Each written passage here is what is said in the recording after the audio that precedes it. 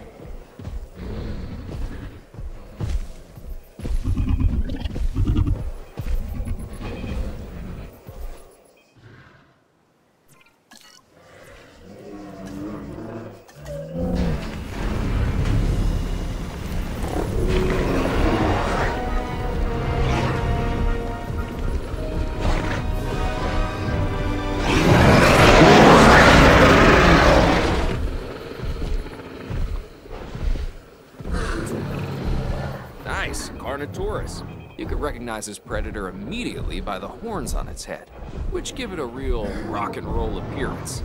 Those powerful legs can get this dinosaur moving as well, so probably best to stay out of its way. This dinosaur is so metal.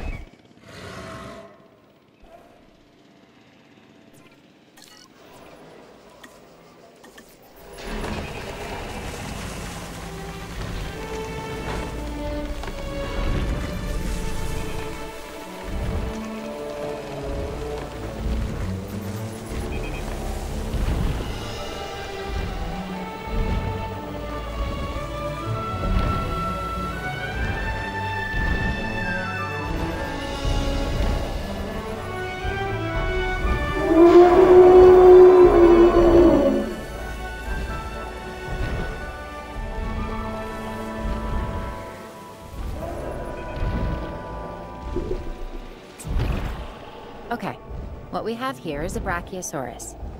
It has long limbs relative to the rest of its body. And what makes it really unique is that it's a warm blooded dinosaur.